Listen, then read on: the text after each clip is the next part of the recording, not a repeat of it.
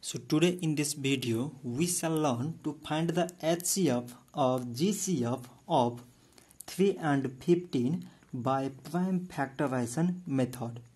So first of all we find out the prime factors of 3. So it is 3 times 1 means 3 like as the prime factors of 15 are it is 3 times 5 means 15 and 5 times 1 means 5.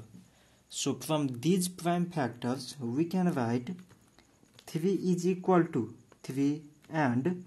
15 is equal to 3 times 5.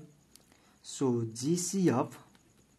of HCF is equal to so now we have to find out the common factors in all these prime factors